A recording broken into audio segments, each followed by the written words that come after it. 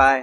Josmeri Toledo y Paulo Hurtado estaban viviendo su amor escondidas. Josmeri Toledo y Paulo Hurtado fueron ampallados nuevamente, pero esta vez en Lime y por amor y fuego. Y es que, a pesar de lo mal que lo pasó la esposa del futbolista Rosa Fuentes, al parecer ambos habrían querido vivir su amor escondidas.